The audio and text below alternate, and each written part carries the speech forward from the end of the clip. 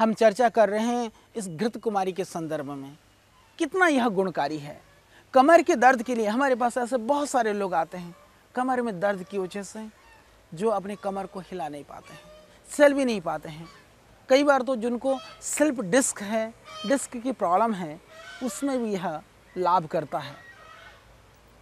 तो जिनको कमर में दर्द है शैटिका की प्रॉब्लम है, उनके लिए भी यह, यदि आप जैसे कि अभी हम चर्चा कर रहे थे कि घृत कुमारी के आप लड्डू बना के खा सकते हैं, हलवा बना के सेवन कर सकते हैं, इसकी रोटी बना करके भी आप खा सकते हैं।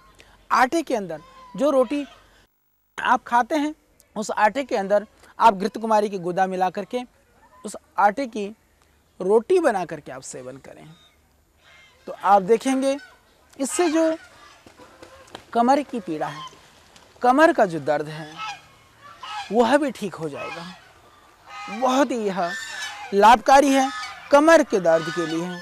और हम अभी चर्चा कर रहे थे बच्चों के रोग के संदर्भ में जिन बच्चों को बार बार एलर्जी होती हो बार बार वो परेशान होते हों या जो रात को छोटे बच्चे बिस्तर में पेशाब कर देते हों आप इसमें इस घृत कुमारी में आप तिल को थोड़ा भून लें भुने हुए काले तिल में थोड़े घृत कुमारी मिला करके और उसके ल, उसका लड्डू बना लें आप।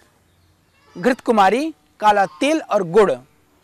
तीनों का लड्डू बना करके आप छोटे बच्चों को खिलाते हैं तो इससे बंद हो जाएगा।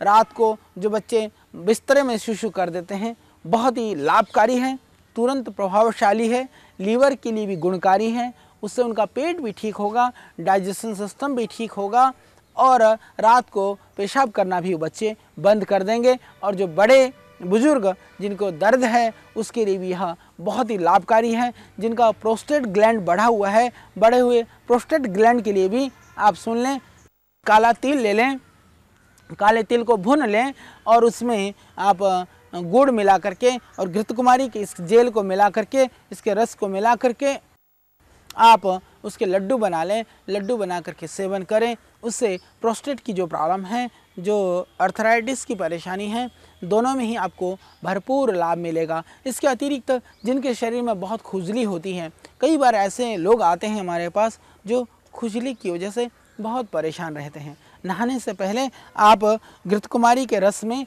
थोड़ा सा उसमें मिला दें, नारियल का तेल घृत कुमारी का ये जो रस, नारियल का तेल थोड़ा सा मिला दें कपूर और थोड़ी सी मिला दें गेरू। कितनी भी भयानक ऑर्टिक एरिया है शीत पित्त की बीमारी है तो शीत पित्त के लिए ये बहुत ही लाभकारी है।